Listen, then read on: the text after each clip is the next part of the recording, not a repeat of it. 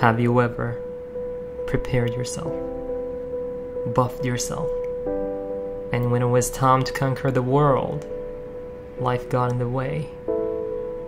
In that case, you got a choice to give up or to keep going and strike back like a piercing dagger.